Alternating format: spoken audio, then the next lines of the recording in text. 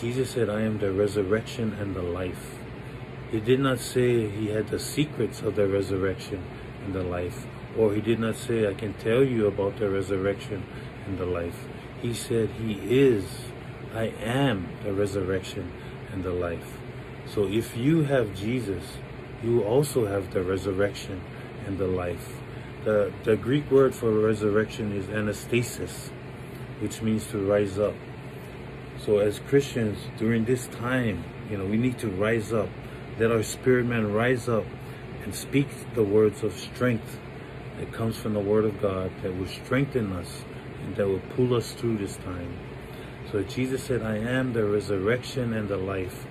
So we have Christ in our hearts, Christ living in our spirit. So we are also the resurrection and the life